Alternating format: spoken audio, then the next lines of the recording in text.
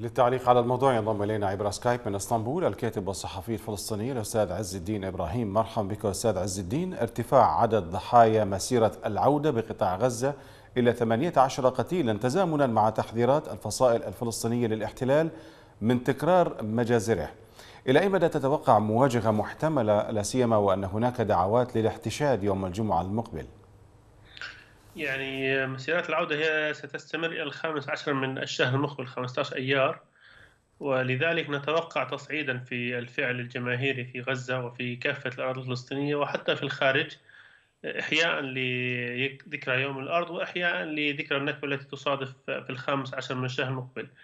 الاحتلال الإسرائيلي لا شك أنه يتعامل مع هذه المسيرات على أنها تهديد آه، لهذا الكيان. فبالتالي هو لن يجد يعني آه، رادعا في أن يستهدف هذه المسيرات السلمية التي شهد العالم كله على على سلميتها بأن يستخدم آه، ضدها أشد أنواع القوة. والدليل على ذلك سقوط أو ارتقاء 18 شهيدا حتى الآن في آه، يعني أكثرهم كان يوم الجمعة الماضية باستشهاد 15 شهيدا. فبالتالي نتوقع مزيد من الاعتداءات الإسرائيلية في التعامل مع هذه المسيرات التي يعني بشكل أو بآخر هي تعري هذا الاحتلال وتؤكد على حق الحق الفلسطيني في العودة والحق الفلسطيني في فلسطين التاريخية.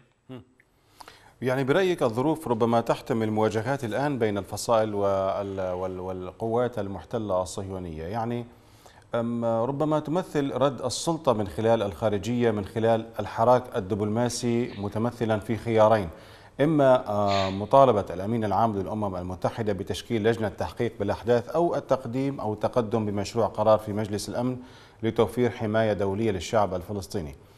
من وجهة نظركم أستاذ يعني أي الخيارين أقرب؟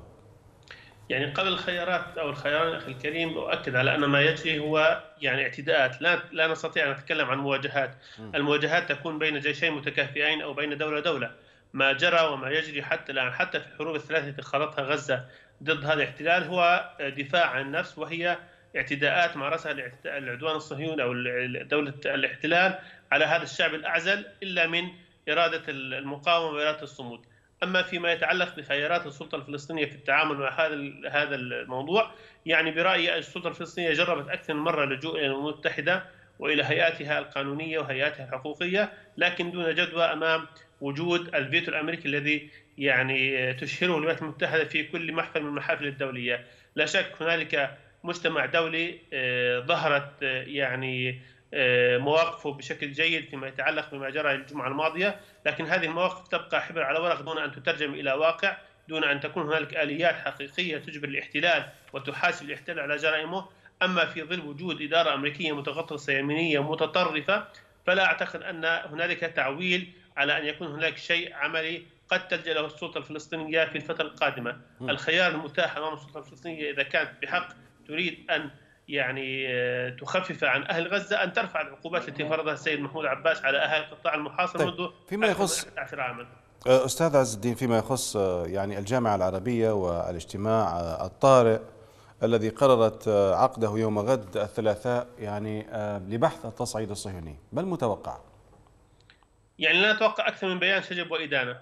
يعني الجامعة العربية انتظرت أربعة أيام حتى تعقد اجتماعا لمناقشة سقوط يعني 18 آه، شهيدا. رأينا هذه الجامعة كيف تحركت في ملف اليمن في ملف سوريا الذي يعني سقط فيه آلاف الشهداء في العراق. هذه الجامعة العربية لن يخرج منها أكثر من بيان شجب وإدانة. ورأينا يعني بالتجربة الظاهرة العيان أنها لم تفلح في أي من محطه من محطات الصراع سواء مع الاحتلال الإسرائيلي أو في محطة التي تتعرض لها الأمم العربية في أن يخرج منها أي موقف عملي، ما نتوقعه من الجامعة العربية غدا هو موقف يعني قولي.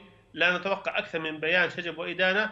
وإذا كانت فعلا جادة في يعني أن يخرج عنها شيء فلتقدم على خطوات عملية من قبيل بداية الضغط على السلطة الفلسطينية لرفع العقوبات عن غزة، اثنين آه، الضغط على الولايات المتحدة بمخاطبه الولايات المتحدة بأن تعمل على الضغط على الكيان الصهيوني لوقف اعتداءاته غير ذلك يعني لن يتعدى دور السلطة الجامعة العربية عفوا أكثر من بيان شجب وإدانة آه، تعودنا عليه نحن كفلسطينيون على يعني مر آه، سنوات الصراع مع الاحتلال. أخيرا أستاذ عز الدين إبراهيم إلى أي مدى ترى أن الحراك الشعبي الفلسطيني على الرغم من فداحة الكلفة استطاع أن يفسد ترتيبات ما سمي بصفقة القرن.